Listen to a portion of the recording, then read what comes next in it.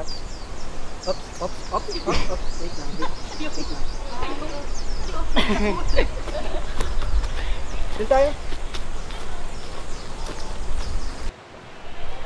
Ang ganda doon. Pero, tignan mo yung mga food stall. oh. By the way, speaking of food stall. Kat, saan mo pala balak gusto kumain? Sana yung pasok na sa budget. Kahit saan naman. Kat, okay na ba kahit sa tabi-tabi muna? Kasi hindi pa talaga kaya ng budget. Promise, kapag may budget na ako, magpa-fast food tayo. Ano ka ba? Siyempre okay lang sa akin yun. Kat, sorry ah. Sinusubukan ko talaga maging deserving para sa'yo.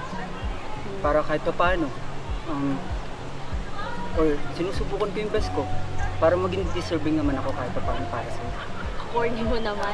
Pero, alam mo, Drake, wala naman sa akin yun eh. Ah, nakikita ko naman na nagtatry ka, na ginagawa mo yung best mo para sa akin. Good still. Grabe naman yun. Sige, tara. Tokyo-Tokyo tayo.